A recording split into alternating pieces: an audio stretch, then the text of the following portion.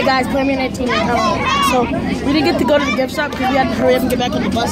So yeah, uh, freaking everybody's on the bus and loaded and crap.